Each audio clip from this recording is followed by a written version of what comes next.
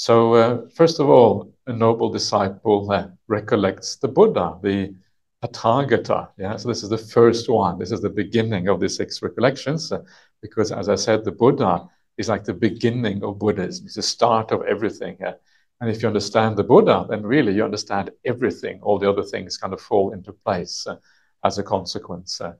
So re you recollect the, the, the. So what does this mean?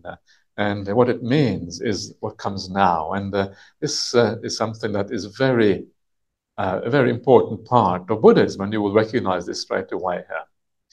Yeah, that Blessed One is perfected here. First thing here.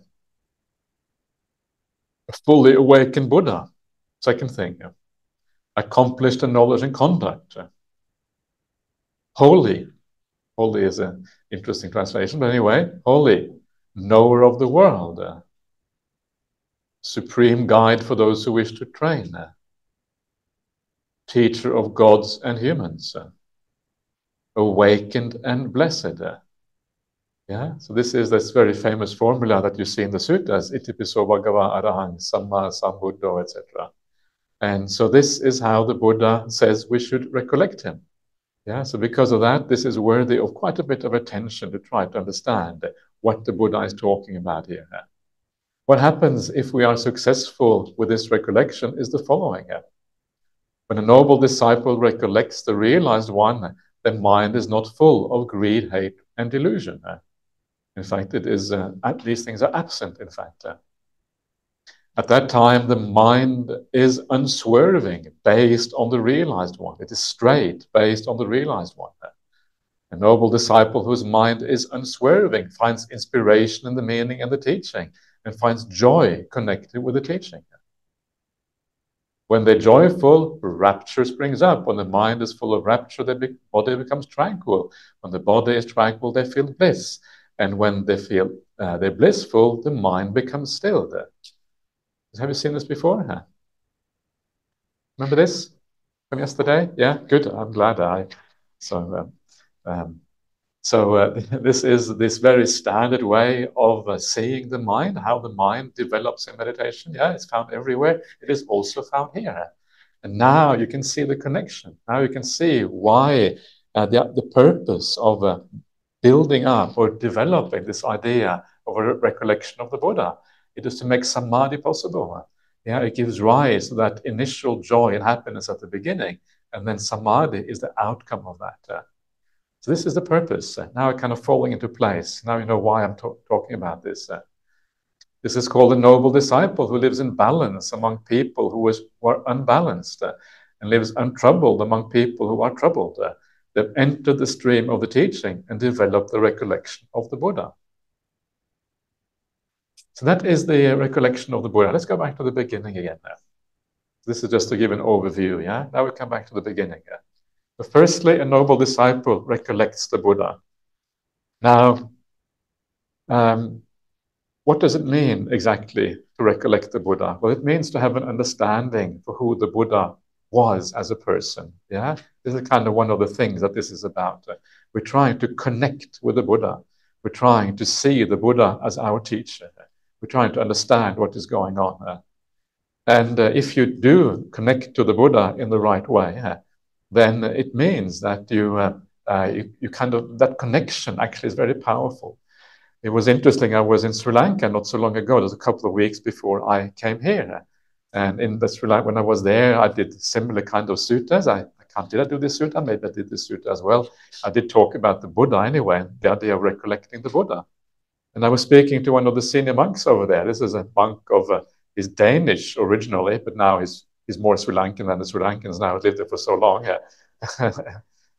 you know, he's uh, drinking, he kind of drinks tap water straight out of the tap in, in Sri Lanka. Now that's fine. You can easily drink. No, none of the Sri Lankans, uh, all the Sri Lankans drink kind of bottled water, but he kind of drinks the water from the tap and everything. So he's kind of, he's really indigenous now. He's kind of uh, part of the community over there.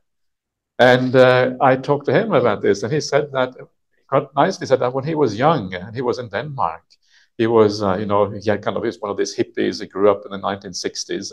He's almost 80 years old now. and he had kind of long hair and these kind of things, and he would, you know, do the sort of things that the hippies would do. The hippies were kind of into spirituality a little bit, you know, a little bit of drugs, of course. I don't know if he was into drugs, but he was into spirituality.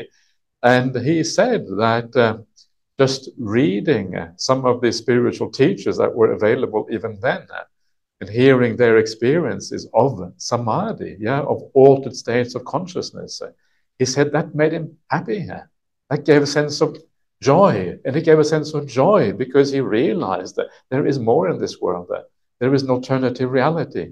It is possible to realize deep states of meditation, to realize uh, insights into the nature of uh, of, of, reality. There is more than just the ordinary world. Yeah, the ordinary world of going through the paces of life and doing what everyone else does, growing up, going to university. Oh, so much hard work. Oh, look, and then go to work, then get married, have children, and everything is just one thing after another, and there's no time to breathe in all of this. Yeah, let alone think about the Dhamma. That's kind of completely out of the window. Yeah? And then eventually go on, and then you die and, and there must be something more to this life right? Otherwise it seems so pointless. Uh, what are we doing this for anyway?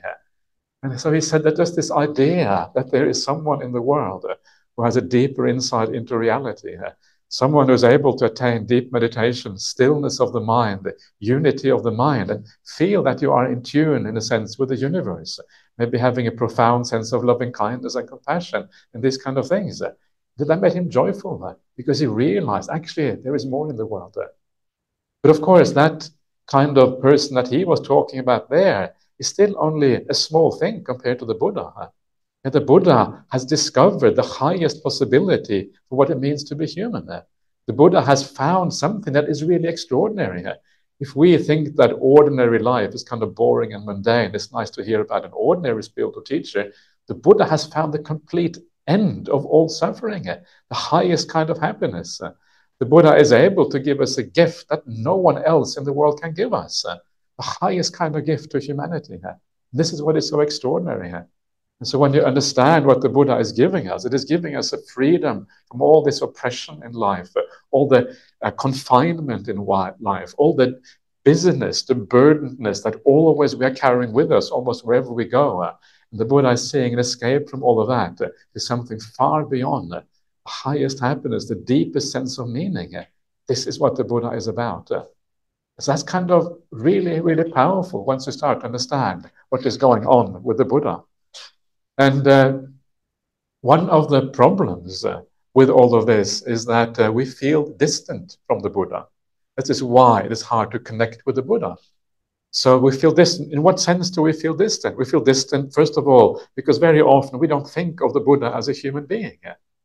Yeah, if you, it's actually difficult to think of the Buddha as a human being. Even I, I mean, I kind of grown up in the West. I didn't grow up with stories of the Buddha being supernatural or anything like that. But even for me, it's a bit difficult to really see the Buddha as a human being. Yeah, he seems something more than that. But actually, the Buddha is a human being. And what he did was just take that human being nature take, take it to its logical highest pinnacle by becoming a Buddha. But we can all become that kind of arahant like the Buddha. So there isn't any fundamental difference between us and the Buddha. The Buddha is also a human being. And once you start to see the Buddha as a human being, once you look past the veil, the mythology, the legends, then you can start to connect to the Buddha much more. Because then the Buddha is like a monk you can go to. And you can say, Venerable Sir, yeah, um, Bhante, please, you know, I have a question for you or whatever. And then you can start to connect to the Buddha in the same way you can connect to Ajahn Brahm or, or whoever it is that you want to connect to. So this is the first thing. We need to understand that the Buddha is a human being. And this is one of the reasons when you read the suttas, uh, read kind of a little bit between the lines. See what is really there. See how the Buddha interacts with the people around him. yeah, see what is kind of going on in that society see how it feels. And after a while, you start to see actually the Buddha, it is very much like a human being. How did the monks and the lay people treat the Buddha? As I mentioned yesterday, sometimes the monks would kind of dismiss the Buddha and say, yeah, okay, actually now just Venerable Sir, just go and enjoy yourself. We will kind of look after this argument. Yeah, they were actually being rude to the Buddha, basically. That's what it comes down to. And you get the feeling that they saw the Buddha as a human being. Yeah, If the if the Buddha was God, well, they wouldn't be rude to him probably. Yeah, they probably oh, probably too powerful and too scary. Yeah. yeah. So the the Buddha comes across more and more as a human being, someone who is approachable, someone with special spiritual qualities. That's really that's really what the Buddha was. So this is one way of reducing the distance between us and the Buddha to understand what the Buddha actually was. And to me, that is much more interesting because if the Buddha is a human being, then it means that what he did was kind of extraordinary. Yeah, he took that ordinary state of human being and perfected it to become a Buddha. That's kind of really amazing. But if the Buddha was a god to begin with, then what's the big deal? Gods, of course, they are different. They do weird stuff. Yeah, we all expect that. If the Buddha had been kind of practicing for four, four incalculable eons to become a Buddha, of course, then you know purity can be understood. That is one of the reasons I don't like the Bodhisattva ideal. I don't like it because the moment you say the Buddha practiced for four incalculable eons, then again you're distancing the Buddha from us. He becomes a different kind of being. Who on earth can, can practice one path heading in one direction for four incalculable eons? It sounds superhuman. Already you are kind of elevated to some different realm. And so I don't like that. And I think it's wrong. I don't think that is what the sutras are saying at all. That is not what happened to the Buddha. The Buddha was a bodhisattva only in his very last life uh, because he was intent on awakening. And then he used the human situation, the human reality, to go beyond that human reality and become, become an arahant. And the Buddha, the difference between the Buddha and arahant is just that the Buddha was the first. That's the only difference, really. And so to me, all of these things, they make the Buddha more accessible, more approachable. Uh, yeah, makes it easier to understand who the Buddha was uh, when we see this. Uh. And this does not mean that we respect the Buddha any less. In fact, I think we respect the Buddha more in a way uh, because all of these other things are just supernatural. You don't really respect the supernatural. You just don't not understand it. So you kind of worship it and you pray it because you have no idea what's going on. And so it's not real respect in a sense. Real respect is something you have for something you can understand, something you can relate to. And you say, wow, you have made this out of your human existence. That's just absolutely astonishing. I really respect that because you can understand it. And so this is some of the ways of getting to know and approaching the Buddha. Yeah, first of all, he was a human being. In fact, this is one of the things that makes Buddhism special. What makes Buddhism unique in the world religions uh, is that it was started by a human being and it ends with a human being. That is kind of, to me, one of the great things about the Buddhist teachings. The other thing that makes uh, the Buddha distant from us uh, is that sometimes we feel that there is this distance of time and space. Yeah, the Buddha lived in ancient India two and a half thousand years ago, different culture, different time. And so we feel kind of, it's almost like a bit mythological. They're two and a half thousand years ago. It's like, it seems like a long time. And uh, so it, everything becomes a bit more legendary and mythological and hard to really deal with, uh, uh, hard to understand. but uh, again, we need to try to bridge that gap. And the way to bridge that gap over two and a half thousand years uh, is to understand that people haven't really changed very much in two and a half thousand years. Uh, people are people. People have the same aspirations, they have the same defilements, the same problems. Uh, there isn't anything fundamentally different between those people and people today. You read the sutras and you see what, what did they want? They wanted to have a good job, yeah. They wanted to be wealthy and have kind of nice um, a nice life. They fell in love with each other, yeah, and they got married and they had children. They argued with each other. They went to war with each other. Yeah, they were rude sometimes to each other. Uh, they all wanted happiness. No, no one wanted suffering. Uh, you, you look at the human condition; it is basically the same. Yeah, there is nothing has really changed over those two and a half thousand years. Uh, and so we had to be very careful. One of the dangers is the bias of the mind that always prefers the present It's called the present bias in psychology, whereby you think the present is somehow has priority over the past. Yeah, somehow we are more advanced, or this is the real reality, and the past is somehow different or doesn't really exist. So we have this present bias, yeah, especially we have more technology, right, and we have kind of all of these kind of things. But actually, all of that technology is just a super, very superficial thing. Yeah? the human heart, the human desires, what we are as human beings, uh, all of the things that really matter are actually the same. Nothing has really changed. Yeah, it is the same. And so that distance between us and the Buddha, we can collapse it. And really, we can almost put ourselves in that society.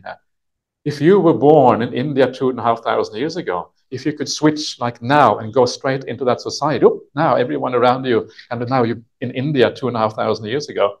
Okay, the, initially it would be a shock, yeah, because the culture is a bit different. Uh, you have to kind of, uh, I mean, actually, Malaysia, you have a big advantage. You already eat Indian food, right? So It's kind of part of the diet over here anyway. so you have an advantage right there. Um, and uh, so, and my, my, point is that uh, you go there and there will be an initial shock because the culture is a bit different, yeah? Even if the Indian food is uh, somewhat similar. Uh, but it won't be long eh, before you feel you're part of that society. Yeah, you will adapt very, very quickly because the underlying feelings are exactly the same. Eh. Yeah, you will start to understand the people around you very quickly. Just like now, even in the present day, you can go around the whole globe. Eh. It's not that difficult to understand other people. Other people are the same wherever you go in the world. Yeah, we are not that different. Kind of a boring thing to say that there's no difference, but it's the reality of things. And so once you kind of put yourself in that society and you realize that you would fit in very quickly, you start to understand that this feeling of distance uh, is just an illusion. Uh, there isn't really any distance. Uh, this idea of present bias is just the sense that somehow we are the pinnacle of civilization. But sometimes we are, perhaps we're not the pinnacle of civilization at all. Maybe we are the pinnacle of mobile phones, but mobile phones is not kind of what defines civilization. Yeah, that is uh, not at all. And so this is uh, how we need to think then to bring yourself closer to this idea of who the Buddha was. And now you can start to approach the Buddha. He was an ordinary human being that probably you can relate to quite well. And what kind of being was he? Well, one of the things that he was, he was a teacher. And one of the, know, one of one of these things about the uh, about the Dhamma. And uh, again, I, I, keep on repeating myself in many ways, but I, but I think that's probably okay. But one of the, um, the things about the, uh, the Dhamma, and this is one of the things I mentioned in the talk uh, uh before as well, uh, is that because uh, the Buddha is a teacher, yeah, the things that he says is very similar to when you go to a teacher in school. Yeah, if you go to school and you listen to a teacher, Normally, you take on board what the teacher says. Why? Because you have no real reason to think that the teacher would lie to you. The teacher probably tells you what they know. One plus one is two. Okay, so you accept one plus one is two, even though you don't may not understand it at the very beginning. It seems reasonable enough. Yeah, and uh, so, but the Buddha is a teacher just like any other teacher. When the Buddha tells you something, it is because this is knowledge. This is understood. The only difference is, is that the knowledge of the Buddha is far more secure, far more direct, far more immediate, coming from a being with great purity and integrity, far more reliable than any ordinary teacher. You may doubt that one plus one is two because it comes from your ordinary teacher, but perhaps you shouldn't doubt the teachings of the Buddha because they are coming from a very different place. Again, the reason why we doubt it is because somehow we haven't made that connection to the Buddha. The Buddha doesn't seem like a teacher right in front of us, right? Uh, that is why we doubt his teachings a bit more. But in fact, we should do the opposite. We should have more confidence in the teaching of the Buddha than we have at the teachings of a teacher in school or any other kind of teacher. And then you start to think very differently about the Buddha. Then you start to think, well, if the Buddha talks about rebirth, yeah, there is such a thing as rebirth, uh, actually, that is, becomes then very important because the Buddha says so. He is a teacher with great integrity who tells us the reality that he has realized. How can you reject it? In fact, you can't really reject it anymore. You have to take it on board. You have to consider it very carefully because this comes from a person who is very special. And so I would say that, you know, as when people talk about the evidence for rebirth, we talk about all these kind of evidences in the world, and there's lots of evidence for this. Uh, and a lot of that evidence is very interesting, and I think it points in a certain direction uh, and is very useful in many ways. Uh, but uh, the real evidence uh, for rebirth uh, is that the Buddha said there is rebirth. That is the most powerful evidence of all. That is the one piece of evidence that is very hard to really just shake off Why is it that people don't take that evidence more seriously? Well, it's because they don't actually take the Buddha as seriously as they should. They don't understand the position of the Buddha as a teacher who is actually very extraordinary in the world. That is where we go wrong. And so we collapse that distance. And once we collapse the distance to the Buddha, once we start to understand who the Buddha is, then it actually changes our relationship with the Buddha. He becomes our teacher in a very different way. And when the Buddha says there is rebirth, we take it extremely seriously because precisely because the Buddha is the Buddha. And so this is how to start thinking about the Buddha, yeah, understanding what the Buddha is about, how to relate to the Buddha uh, a little bit better. So this is how you begin, but it goes much further than this. And before I start talking about the various details here, I will give you some idea. This is the way I normally talk about the how to think about the Buddha when I talk uh, uh, anywhere really.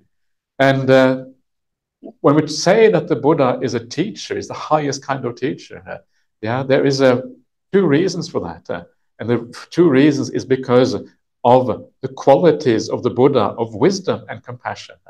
Yeah, and for the Buddha, when he became a teacher in the world, he had no real, he didn't have any good reasons to become a teacher in the world. In fact, the Buddha says in the Ariya Pariyesana Sutta that we looked at before, he says, actually, maybe I shouldn't bother becoming a teacher. Yeah, it's so much hassle. No one will understand me anyway. So why not I just kind of go and meditate and have a good time and, and don't worry about trying to teach those people who are unteachable in the world. And then he surveys the world and he finds actually people will understand. And then he decides, okay, I will teach. I will teach why? Out of compassion. Compassion for the world. I have the answer that everyone is looking for. And because I have the answer, I will teach out of compassion. But uh, so the Buddha doesn't teach because he gets anything out of it. There's nothing in this for the Buddha. The Buddha is not interested in the material things of the world yeah, that he might get or people might give him because he's gone beyond that a long time ago. The Buddha is not interested in having many disciples. The Buddha is not interested in becoming famous. The Buddha doesn't even have a sense of self. There's no ego to be gratified or to be, become happy because, because of whatever. So for the Buddha, teaching only has downsides. It only has the downside of the hassle and the arguments maybe that he has to go through, people arguing with him and all the interaction that he has to have with people, all of this, it only has downside. There is no vested interest for the Buddha in teaching the world. There is the anti-vested interest. There's a negative vested interest because the, for the Buddha, it will be suffering. It will be uh, more problems. Yeah, this is the thing. And so almost all teachers in the world, when they teach, they have a vested interest. Yeah, if you are a teacher, you can maybe you have a uh, you have a salary, or you know your students give you something, or you get a good reputation, or you get get maybe get some disciples, or, or whatever it is. Almost all teachers have a vested interest. They have a reason why they want to do teaching. But the Buddha, there is no vested interest. There's only one reason why he teaches, out of compassion. And this is really powerful. Don't underestimate this idea. Because if someone teaches purely out of compassion, it means that what they say is going to be said out of compassion for everyone. There is no other reason for why the Buddha would speak the way he speaks. He doesn't say it to please you. Yeah, he doesn't care whether you whether you agree or not with what he says. Yeah, most people they, they would please. They would be crowd pleasers. They will say something to the crowd just to make the crowd happy or whatever but not the Buddha. He teaches the Dhamma purely out of compassion. And what that means is that when you read the words of the Buddha, they are there because he wants to help you. So read the suttas, thinking the Buddha is saying this because he wants to help me. He wants to help reduce the suffering in my life. He wants to help me to achieve more happiness in my existence. That is the only reason why he's teaching. It means that every word on the page, as you read it, is meant for you to help you forward in this practice to make your life better. So read the suttas like that. Yeah, it's like someone, like an uncle or an auntie or someone in your life who really is compassionate towards you and really wants to help you. Listen, this is what you should do. Yeah, not your parents, because your parents, you can't, it's very hard to relate to your parents, right? You never listen to your parents, but you might listen to an uncle or auntie or a grandparent, right? So, and this is like someone like that, someone who really cares for you, someone who wants the very best for you, someone who's only compassionate for you. Do you listen to what they say? Of course you do. Except that the Buddha is like a thousand times more, a billion times more than this nice auntie or uncle that you have. Yeah. And so this is what the Buddha is there. So when the, when the Buddha speaks, listen for goodness sake. Yeah? The Buddha says, listen, monks, yeah, I will speak. Yeah? You should follow, follow suit and try to hear, try to absorb what the Buddha is talking about. Why? Because of the power of the speech, because they're coming from compassion and kindness and purity. And then, of course, on top of the fact that the Buddha is compassionate, he also has the insight into the human condition. So he actually knows the answer to the problems. Yeah. So here, this double whammy of insight, wisdom, and compassion. It's a very, very powerful combination. It means that, of course, we should listen to what this person has to say. Here you are given the reality of the world on the plate. It's given to you. This is the real deal. This is right view. This is what the way the world works. And then most people they just reject it. They don't have anything to do with it. It's crazy, completely nuts. We don't know what we are rejecting. We have no idea what we are letting go of. Truth is in front of us for our own happiness and well-being, and still we reject it like that. Uh, it's crazy. So this is the first thing about the Buddha that makes him such an extraordinary teacher, makes him so special. So when you read the word of the Buddha, remember that. Uh. But there is more. Uh, yeah, this is just the beginning. Yeah. The other thing which is more is the fact that when the Buddha teaches, he actually has us in mind. Yeah, one of those weird, weird things, you know, sometimes you read the sutras and you think, oh, the Buddha was teaching two and a half thousand years ago and he was just teaching the people in front of him, in the crowd in front of him. But no, and the, the reason why is not because the Buddha is supernatural and thinks about the future or whatever. That's not, not, not the reason at all. The reason is that the Buddha understands that when he starts this teaching, it will keep on going in the world for a long time into the future. Yeah, he knows that once he sets in motion the wheel of the Dhamma, that wheel of the Dhamma has a certain power to it. That momentum of the wheel means that it carries on rolling into the world from era to era, from, from culture to culture, from one group of people to another group of people. And he knows that in the future, people will be listening to these teachings. And so he knew that when he was giving his teaching. So he's not just teaching the crowd in front of him. Uh, they happen to be the immediate people who learn the message and pass it on to the next generation. He's teaching to all humanity, present and in the future. Uh, and that is why, when you read the sutras, why they resound with us in the present day, why we can make sense of it in the present day, because talking to the universal aspects of what it means to be human uh, is talking to us as psychological beings, uh, as people who have certain aspirations, that we have a desire to be happy, a desire to overcome suffering, all of these kind of things. Uh, these are the universal aspects of, being a human being. That's why the sutras are so easy in one way. People often say they're difficult to understand, that's because they are very profound, but they're also easy to understand in another way because they're not bound to a specific culture or a specific time. They have a universal appeal to them that goes across culture, across time, because the Buddha knew from the very beginning that he was teaching all people in this way. Yeah, so remember that. Remember that uh, the suttas, uh, when the Buddha is speaking the sutras, he's talking to us. Yeah, he's talking to everyone. And because we are part of everyone, he's talking to us. Every one of us here today is a direct, direct disciple of the Buddha because he talks to all of humanity. And what is fascinating, if you take the sutras, for example, and you compare it to any other religious text in the world, all other religious texts in the world, they are much more bound to a specific culture if you read the ancient Hindu texts, the Vedas, and these kind of things, you get the feeling that you're entering into the culture of ancient India. And it's very hard to understand what is going on because you have to understand the cultural context. It's like you enter a different world.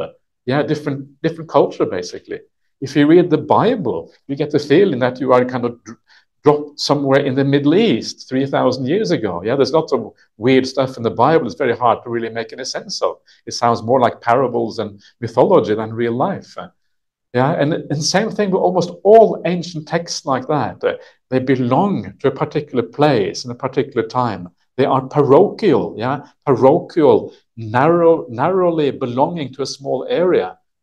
And this is what again makes the Buddhist teaching so special. They are not parochial. They have a universal kind of outlook from the very beginning. The Buddha has this large mind.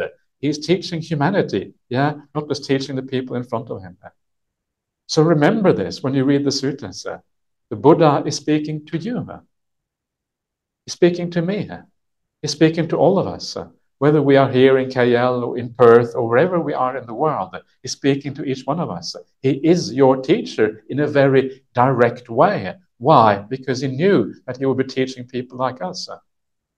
So again, when you read the suttas with this kind of idea in mind, it becomes really real in a very different way. A sense of someone who is thinking about us, who has compassion for us, someone who has the insight into the human condition, the greatest spiritual master in human recorded history. That is who the Buddha was. And uh, you may think I have a bias. Uh, yeah, of course I have a bias, uh, but uh, I think it's also true at the same time. Yeah. And so this is what the Buddha is. And so this opens up the suttas for you because you start to read them in a different way, with a different kind of uh, mindset uh, when you approach them in this way. And then they start to speak to you and they become much more profound as a consequence. There's much more to be said, but let's do some meditation first of all. There.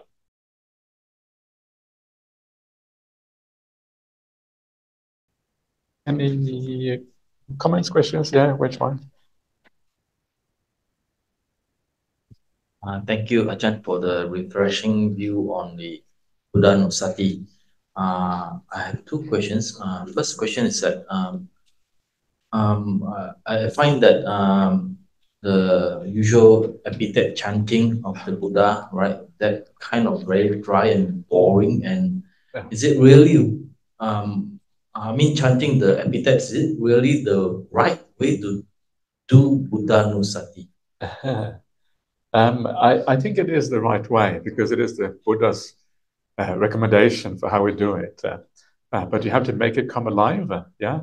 And so, in a way, what the thing that I've been saying now, for me, that is just an extension of those ideas. Uh, yeah, it's actually just those ideas that I'm talking about, but I'm kind of expanding on them and trying to kind of get into what they actually mean you know, as a personal uh, um, feeling, if you like, a personal perception. Uh, so, for example, talking about the Buddha as a teacher, both Sattha Devamanussanam is one of those teachers, or uh, Anuttaro Purisadammasarathi. Those are two of those things in there, and they are about the Buddha as a teacher. What does that actually mean? How is he a teacher for us?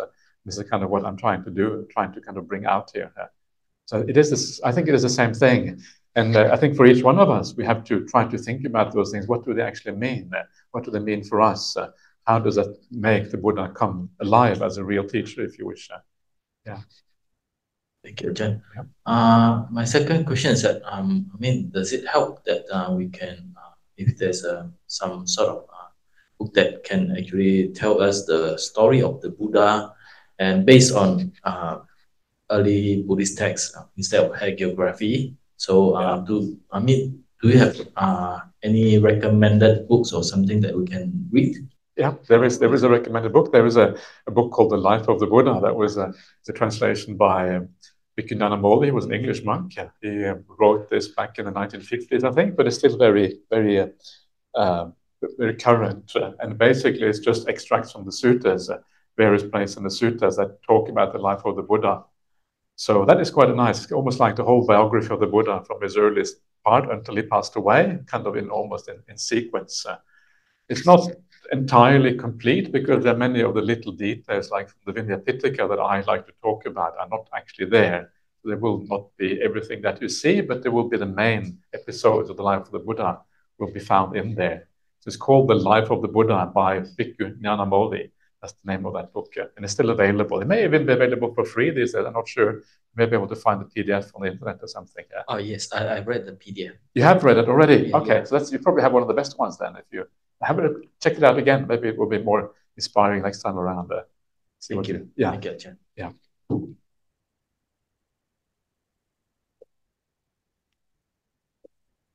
If one gets inspired though, um, piti would arise. Yeah. Thank you. That's the, that's the idea. Yeah, that's the point. Yeah, yeah, exactly. That's kind of what this is about. Yeah, is to give rise to those good feelings, and then and then you can combine that with the breath meditation, uh, for example, and then you can make it into something very powerful. Uh, And the thought just arise in me. I thought, you know, I spent uh, Vasa in uh, Bodhgaya and Vesali. It was really, you know, special. You could feel a lot of energy yeah, Yeah.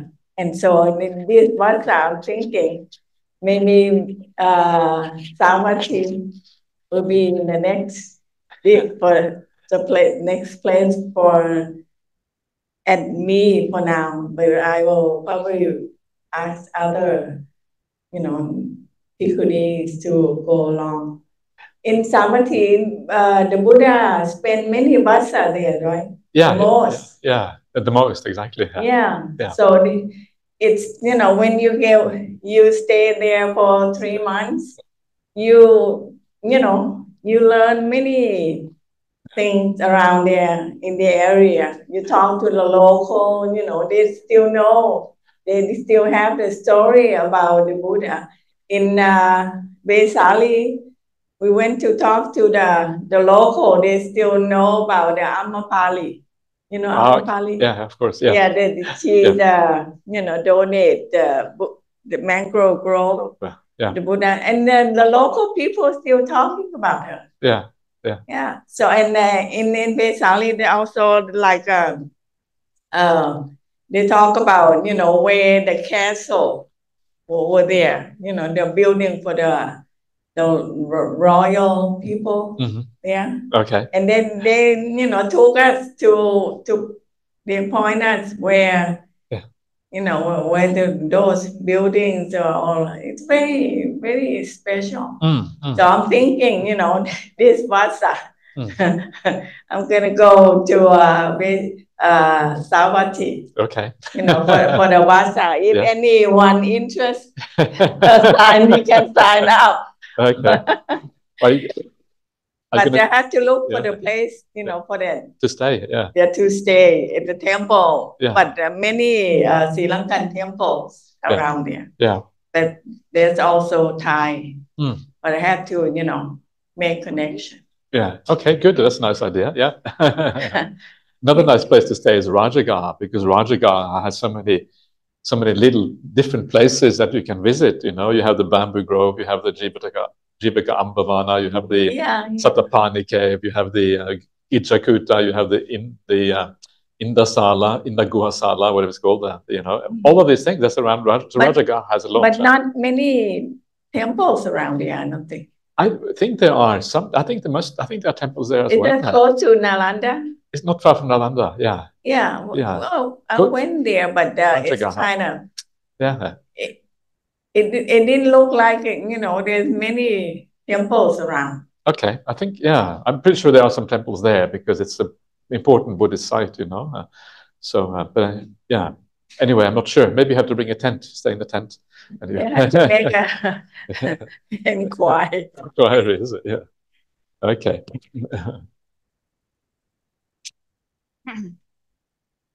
Thanks for sharing, Ajahn. Yeah. So just reflecting on um, rebirth again, um, yeah. I, I'm just wondering. I know uh, consciousness is infinite, but who decide um, Yeah. rebirth?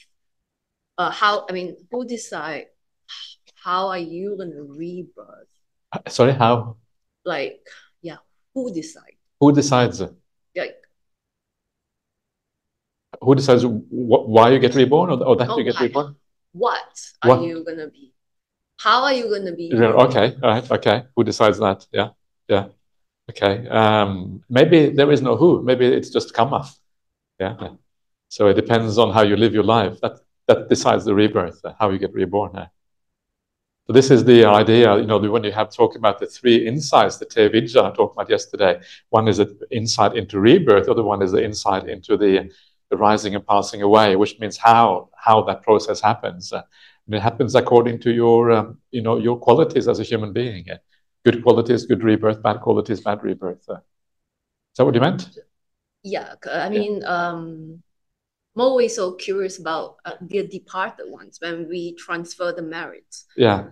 Um, okay. We only have this lifetime to yeah. to send merits to them. So then they will be rebirth to um, a battle yeah a bet to have a battle rebirth yeah right? yeah so there so yeah so that is the you don't actually just have this lifetime you have you know this is the nice thing is that there's a nice sutta where the um, there's a Brahmin called Janussoni. He goes to the Buddha and he says to the Buddha, Can we do anything for the departed? Uh, you know, if I give a gift to the departed, will they receive it? That's what he asked the Buddha.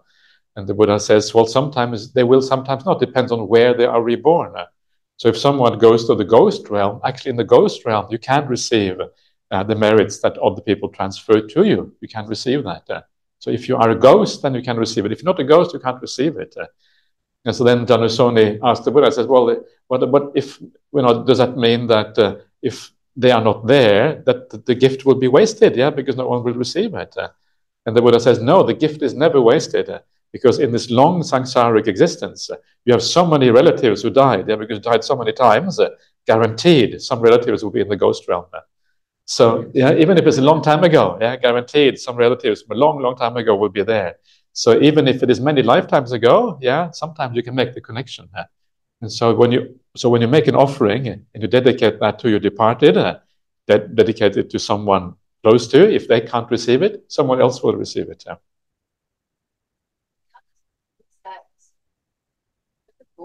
Ghost to ghosts, yeah, yeah, because the ghosts are connected in a way to the human realm. Uh, and because they are connected to the human realm in a certain way, they can still experience what we are doing. Uh, insects can't really experience what we're doing. They are too closed off from that. Uh, but ghosts can. Yeah, sometimes a ghost will be around in a house, right? You can hear the hear the ghost, or they will be present, and so they have a connection to us.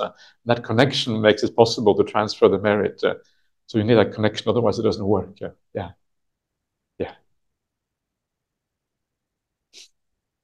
But if they are like a peta, they cannot receive their your merit. That's when that's when they can receive it, peta. Right. Yeah. Yeah. So yeah. um, related to her question. Yeah. So, for example, if my aunt um, makes uh, to want to make merit for her son who passed away 30 years ago. Yeah. Um, so she will specifically say this is for who's the name. Yeah. But if it doesn't go there, it automatically go to the other relative, or should she say? It would. It will automatically go to automatically go to the other relatives. Yeah, yeah. Okay. So you you can, but you can say if you want to make it even more specific, you can say that. Yeah, for my son or anyone else who is kind of you know can receive this merit. Yeah, yeah. Hmm. Morning, Ajahn. Good morning. Yeah. Um, you know, uh, people who are kind of like dying, uh, usually I mean, sometimes you do see that they're being converted to Christianity, mm. and this happens all the time, mm. or a lot of time. Mm. So, as Buddhists, what should we, how do we approach a dying person?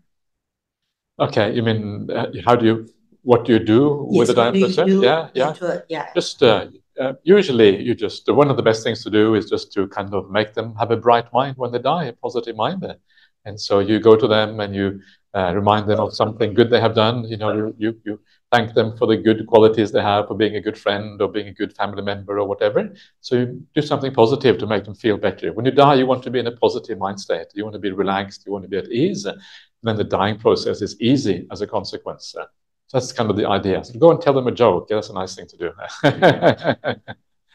bring a, bring Ajahn Brahm along. He will kind of make the day nice. One of the things about just before you, before you uh, before you come in anywhere. Just uh, you know, one of the things about this kind of conversion on the deathbed it's just Mickey Mouse conversion. You know, it's not really real. Because uh, you know you you convert because the pressure is on, and so you say, yeah, whatever, I convert. But it's not in, the, in your heart. You haven't really converted. Uh, you do it because of, and so it doesn't really matter. As soon as you're dead, you convert back to being a Buddhist again. Uh, so it's it's it's fine. Yeah. It's out of fear. It's just a, just a silliness. So it doesn't actually, it doesn't really, it doesn't have any impact on the person. They're still a Buddhist in their heart. So I wouldn't worry too much about it. I would just kind of, okay.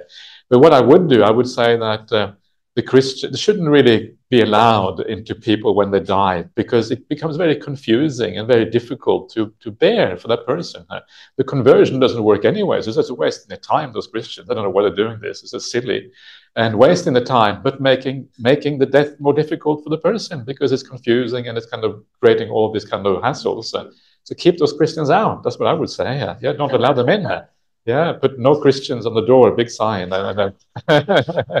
okay, good friendly Christians are okay, but converting Christians cannot cannot go in there, yeah, because uh, it is not is not it is actually not a it's a it's a bad idea. It, first of all, this doesn't convert people anyway, and secondly, it just leads to a bad uh, a kind of bad situation when you're dying. So uh, yeah, please, yeah. Morning, Ajahn. Re regarding these uh, recollections of the Buddha, the yeah. uh, Buddhanussati we just discussed, how do we use this back in the meditation? When I meditate, we have to say recollect the Buddha with uh, what just the think of the Buddha who is uh, not very distant, think of him as uh, approachable and compassionate. Wouldn't this become a stories that play in our mind and uh, start thinking of uh, oh. all kinds of stories instead of becoming calming? Yeah. yeah. yeah. So I'm creating okay. stories in my mind. So how does it work yeah. for meditation? Thank, thank you. That's a good question. Thank you for that. Um, so what you have to do is the, the idea here is to build up an idea of the Buddha that inspires you. That's the idea. Yeah. So build up an insp inspirational idea. And so what you have to do is you don't do it necessarily when you are doing breath meditation. If you do it when you're doing breath meditation, it will be very distracting, as you say here. But do it at other times. Yeah. Maybe when you're doing walking meditation, walking meditation, thinking about the Buddha. What is the Buddha? Wow. The Buddha has this amazing gift that he has given to everyone. He gave this gift to me. Yeah. The gift of happiness, the gift of freedom from suffering. Yeah I am the disciple, I'm the student of this Buddha. These teachings are available now. Wow, that's amazing. That's really inspiring. That's extraordinary here. And so you build up this idea, yeah, at, at any time. And these things, like anything else, it takes time for them to become powerful. It takes time you, before you understand them. You can't just sit down and make this happen straight away. You have to learn this kind of reflection. And once you learn it, once it starts to bite, then when you sit down in meditation, all you have to do is bring up the idea of Buddha. All of these other things are associated with the Buddha, and the happiness just comes without you having to tell the big story, or anything like that, uh, because you have done all the training beforehand at other times. Uh, yeah. So the idea is that sometimes you need to uh, build up this perception in your mind so that you can use it like that when the meditation comes. Uh, and then you don't have to think a lot. All you do is nudge your mind a little bit. The Buddha, wow, the Buddha, and then the mind is just happy straight away. Uh. So everything is about training. It's about repeating. It's about guiding your mind. It's about turning the su super tanker in a different direction so the super tanker heads in the other way. That's what it is about. Uh, yeah. So this method would also work if I use it for the recollection of the Dhamma and the Sangha and uh, like a Dana, Dhammanussati, all yeah. those things. All of those. Method? Same method. You, you want, it, none of these things tend to work straight away. Sometimes they can work straight away, depending on what your mind is in the past, what you have done in the past. So some people it can work straight away, but often it doesn't. You have to train the mind. You have to do this many times, yeah, and do it. You know, this is one of the reasons I'm talking about this now, because this is a way of helping you to approach this subject, so you can think about it in a way which is inspiring. But you have to find your own way. Yeah? Maybe you can't relate to the things I've been saying. Uh, if you can't relate to that, you find a different way of doing it. Uh, and then you build up these feelings. But the same thing with Sila. Sila is more easy because then it's more, it is something very tangible that you know about yourself. So it's easier. But even that, you need to think about it in a certain way for it to give rise to joy. Uh, it is not always automatic. Sometimes it is automatic, but not always. Yeah. Probably. Yeah. Yeah. Uh, thank you for the wake up call about the perspective of Buddha. Yeah. Never thought of it that way. Yeah. The what can we do to do justice to the Buddha's uh, compassionate teachings? how do we read the suttas and all this in daily life? Yeah. So yeah. So the, the way to do justice to it is, um, uh, I guess, you know, as I was saying, basically to kind of really put your attention to it when you read it. You know, if you are reading a sutta, really take an interest. And sometimes there may be suttas that don't speak to you very well. So don't read suttas, just any sutta. Read the ones that really speak to you, that has, actually have an effect on your mind. Yeah. So skip a sutta if it doesn't work and go to the next sutta. And then you find one that really kind of speaks to you because you can relate to it. And then really pay attention to what the Buddha is saying. You know, get get the feeling that kind of see the compassion on the page, see the wisdom on the page, uh, know that this is talking to you. Yeah, this trying to teach you something. What is it Buddha trying to tell me? Yeah, that is kind of the thing here. And as you think about in this way, you kind of make it come alive in a very different way from usual. Yeah? So uh, yeah, so that is kind of the uh, the basic idea here. I think yeah, it's it's about one's attitude uh, to these words that is actually very important to make it make them work properly. Yeah. Yeah. Okay, shall we do go a bit further, or should we? Uh, what shall we do now? Yeah. Continue. Okay. okay. Let's continue then. The uh,